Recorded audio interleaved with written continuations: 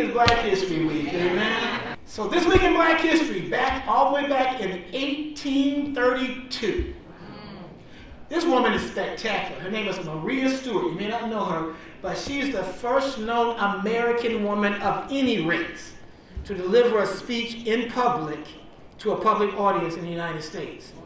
She later became the first black American woman to publish a political manifesto.